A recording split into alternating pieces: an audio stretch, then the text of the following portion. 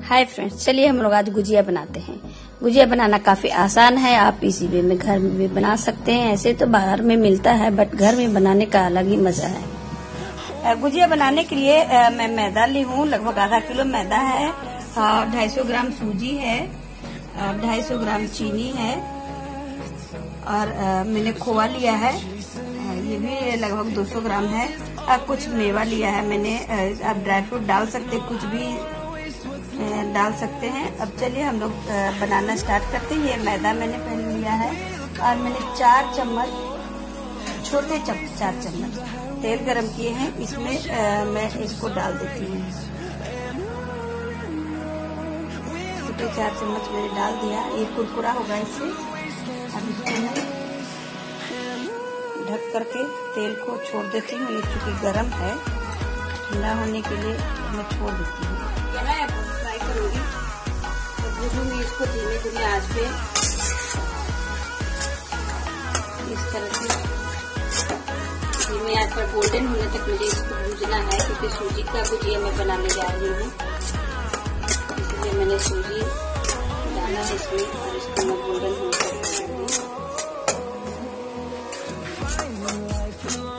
इस तरह से हम लोग गोल्डन होने तक भूनेंगे थोड़ा और गोल्डन होना बाकी है।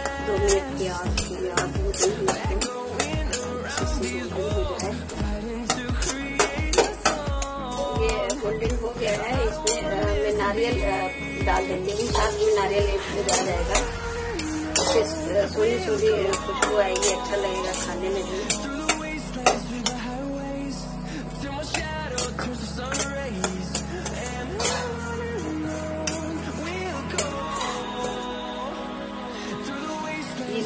रेडी हो गया एकदम गोल्डन हो गया है फ्राई भुजा करके, अब इसको मैं एक बर्तन में निकाल देती हूँ।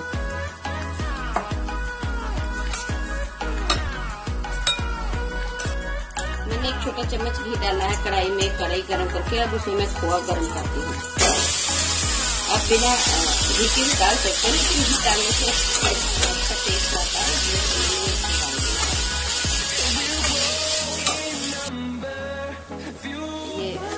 गया है, बीच में चीनी डालती हूँ चीनी को मैंने पीस लिया था।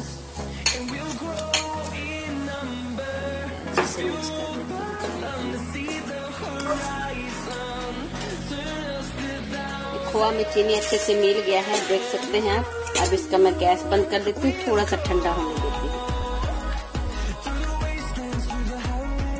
ये खोआ मेरा ठंडा हो गया है।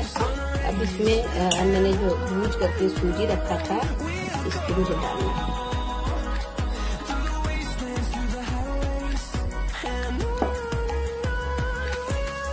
इस तरह से अच्छे से मुझे मिक्स कर देना है। ये अच्छे से मिक्स हो गया है। बिल्कुल रेडी फिलिंग हो गया, तैयार एकदम। अब इसमें मैं तीन से चार इलायची बुक कर करके डाल दे रही हूँ बारीक करके। इसको कूट लिया है। इसको मिक्स कर दे अच्छे से ये रेडी हो गया। अब इसको मैं किनारे रखती हूँ।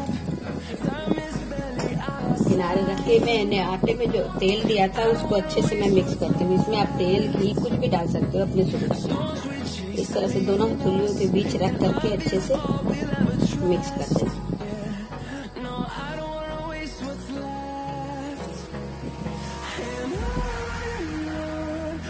सारे लम्स लगभग फूट गए। एक भी लम्स नहीं बचे हैं, बिल्कुल। अब इसमें मैं पानी डाल इसको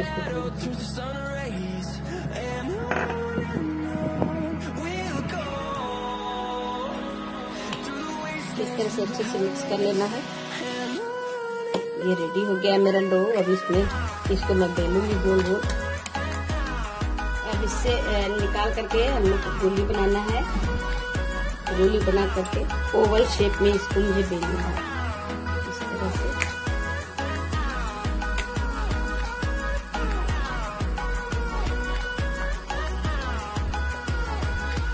इस तरह से मैंने ओवल शेप में इसको बेल लिया है रोटी की तरह।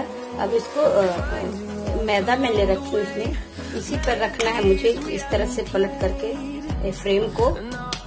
और झाड़ लेना है, झाड़ करके इस इस तरह से मुझे। और इस तरह से इसको दबा करके, हल्का प्रेस करके इसमें मुझे फीलिंग डालना है। ज़्यादा भी नहीं डाले, कम भी ना डाले। इस तरह से ये फीलिंग डला गया इसके अंदर। एक्स्ट्रा है, वो निकाल दे। और एक बर्तन में पानी लेकर के पानी इस तरह से लगाएँ। ताकि ये चिपक जाए अच्छे से। इधर उधर ना हो। इसको हम लोग इस तरह से ढक देंगे। अंदर प्रेस कर दिया हमने। इसको बाहर में एक्स्ट्रा बचा है, इसको निकाल इस तरह से हम खोलेंगे। ये हमारा वीडियो बिल्कुल रेडी हो गया है। इस तरह से। मैंने बहुत सारे गुजिए बना रखे हैं।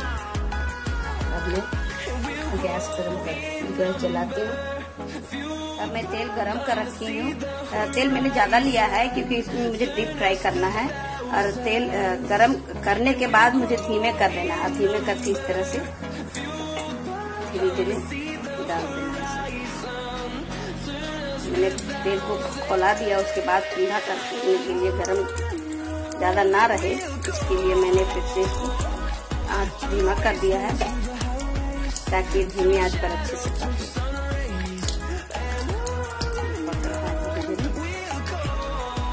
देखिए ये एक तरफ़ का तला गया है। मुझे धीमे धीमे इसको पलटना है। सारे गुजिया को धीमे धीमे पलट देना है।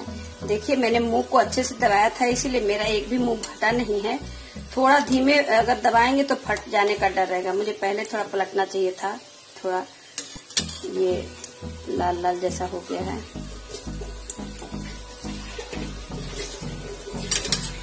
ये बहुत जल्दी पक जाता है।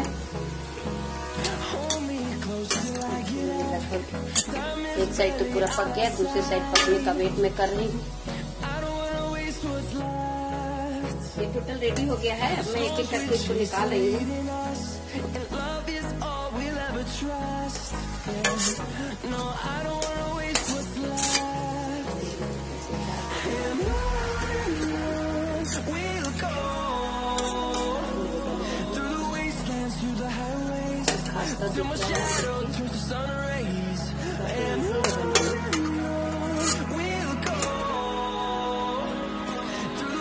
सारे निकाल दिए मैंने। तेल को बिना ज़्यादा हीट हुए, फिर से दोबारा मैं इसमें डाल रही हूँ। ताकि तेल से ज़्यादा एकदम गर्म ना हो जाए धीमी आँच पर ही पकाना इस तरह से। आप भी कोशिश करें, बहुत आसान है बनाना इजी है। कोई भी पर्व में आप कोई भी त्योहार में आप बना करके इसको भगवान को भोग लगाया और खुद भी खाया, बहुत टेस्टी लगता है। तो देखिए, कितना अच्छा बना है, देखने में काफ़ी सुंदर लग रहा है। खाने में भी यकीन मानिए, बहुत टेस्टी है। आप भी ज़रूर ट्राई करें। Thank you